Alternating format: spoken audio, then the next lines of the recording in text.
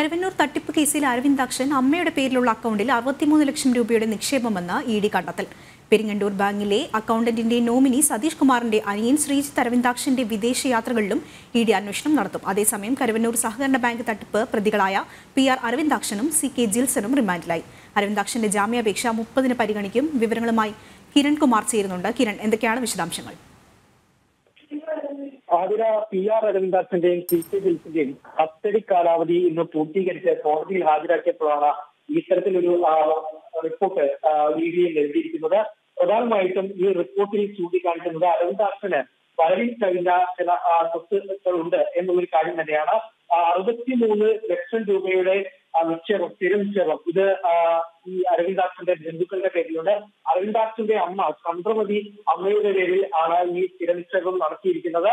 ഇത് പെരിങ്ങട്ടൂർ ആ, സഹകരണ ബാങ്കിലാണ് ഇത്തരത്തിലൊരു നിക്ഷേപം ഉള്ളത് എന്നാൽ ഈ നിക്ഷേപ ഈ അക്കൗണ്ടിന്റെ നോമിനിയായി വെച്ചിരിക്കുന്നത് ശ്രീജിത്ത് എന്ന ഒരു വ്യക്തിയാണ്. ഈ ശ്രീജിത്ത് എന്ന വ്യക്തി ഇത് ഈ കേസുമായി ബന്ധപ്പെട്ട് നേരത്തെ അറസ്റ്റിലായ മുഖ്യപ്രതി ഈ സതീഷ് കുമാറിന്റെ സഹോദരനാണ് എന്നുള്ളൊരു കണ്ടെത്തൽ തന്നെയാണ് ഇ ഡിയുടെ ഭാഗത്തു ഇത്തരത്തിൽ എങ്ങനെ ഈ അറുപത്തിമൂന്ന് ലക്ഷം രൂപ അക്കൗണ്ടിലേക്ക് വന്നു എന്നത് സംബന്ധിച്ചുള്ള കാര്യങ്ങൾ വിശദീകരിക്കാൻ ആർ അരവിന്ദാസിന് സാധിച്ചിട്ടില്ല എന്ന് കൂടി ഏതായാലും ഇ ഡി റിപ്പോർട്ടിൽ വ്യക്തമാക്കുന്നുണ്ട്. ഈ അമ്മയ്ക്ക് ആകെ വരുമാനമായിട്ടുള്ളത് പെൻഷൻ മാത്രമാണ്. ഇത്തരത്തിൽ പെൻഷൻ മാത്രം വരുമാനമായിട്ടുള്ള ഒരു തൊണ്ണൂറ് വയസ്സായ സ്ത്രീക്ക് എങ്ങനെയാണ് ഇവരുടെ അക്കൗണ്ടിലേക്ക് ഈ അറുപത്തിമൂന്ന് ലക്ഷം രൂപ വന്നത് എന്നുള്ള വലിയൊരു ചോദ്യം തന്നെയാണ്. ഈ ചോദ്യത്തിന് ഉത്തരം നൽകാനായിട്ട് ഇതുവരെ പി ആർ അരവിന്ദാക്ഷന് സാധിച്ചിട്ടില്ല. അതുകൊണ്ട് തന്നെ ഇത് ബിനാമി അക്കൗണ്ടാണ് ബിനാമി ഇടപാടുമായി ബന്ധപ്പെട്ട് വന്ന പണമാണ്. എനിക്ക് തട്ടിപ്പിൽ ഇവർ നേടിയെടുത്ത പണമാണ് എന്നുള്ളൊരു വിലയിരുത്തൽ തന്നെയാണ് ഏതായാലും നീതിയുടെ ആ ഭാഗത്തു നിന്നും ഉണ്ടായത്. കൂടാതെ തന്നെ ഈ പി ആർ അരവിന്ദാക്ഷൻ നടത്തിയിട്ടുള്ള വിദേശയാത്രകൾ അടക്കമുള്ള കാര്യങ്ങൾ പരിശോധിക്കേണ്ടതുണ്ട് എന്ന് കൂടി ഇ ഡി ഏതായാലും വ്യക്തമാക്കിയിട്ടുണ്ട്. ഇയാൾ പല തവണകളായി പല വിദേശ രാജ്യങ്ങളിലേക്ക് യാത്ര നടത്തിയിട്ടുണ്ട്. കൂടാതെ ഇദ്ദേഹത്തിന്റെ ഭാര്യയുടെ പേരിലുള്ള എൻ ഐ എൽ അക്കൗണ്ടിലേക്കും ഇത്തരത്തിൽ പണം വന്നിട്ടുണ്ട്. ഈ അക്കൗണ്ടുമായി ബന്ധപ്പെട്ടുള്ള ചില കാര്യങ്ങൾ നിരീക്ഷിക്കേണ്ടതുണ്ട് എന്നുള്ള ഒരു കാര്യം തന്നെയാണ് ഇ ഡി പറയുന്നത്. ഈ സി ആർ അച്ഛൻ ചില ഭൂമി ഇടപാടുകളും വസ്തു കച്ചവടങ്ങളും എല്ലാം തന്നെ നടത്തിയിട്ടുണ്ട്.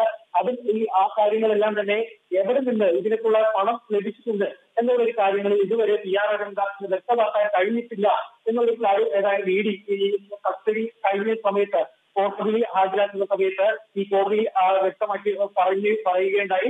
ഏതായാലും ഈ പി ആർ അരവിന്ദാസ് അടക്കമുള്ള ആളുകളെ വീണ്ടും ചോദ്യം ചെയ്യേണ്ടതുണ്ട് എന്നുള്ളൊരു കാര്യം തന്നെയാണ് ഇ ഡി വ്യക്തമാക്കിയിരിക്കുന്നത്. അടുത്ത ആഴ്ച ഇതിനായിട്ട് പി ആർ അരവിന്ദാക്ഷനെയും ഒപ്പം തന്നെ സി കെ ബിൻസ് ഈ രണ്ടുപേരെയും വീണ്ടും കസ്റ്റഡിയിൽ ആവശ്യപ്പെടും എന്നുള്ളൊരു കാര്യം തന്നെയാണ് ഏതായാലും ഇപ്പോൾ ഇ ഡി ഇവരെ കോടതിയിൽ ഹാജരാക്കുന്ന സമയത്ത് അറിയിച്ചത്. ശരി അരവിന്ദാക്ഷനെതിരെ കൂടുതൽ തെളിവുകൾ കൂടി പുറത്തു വന്നിരിക്കുകയാണ്. അരവിന്ദാക്ഷന്റെ അമ്മയുടെ പേരിലും അറുപത്തിമൂന്ന് ലക്ഷം രൂപ ബാങ്കിൽ നിക്ഷേപം എന്ന രീതിയിലുള്ള കണ്ടെത്തലുകളാണ് വന്നുകൊണ്ടിരിക്കുന്നത്. കിരൺകുമാറാണ് വിശദാംശങ്ങൾ നൽകിയത്.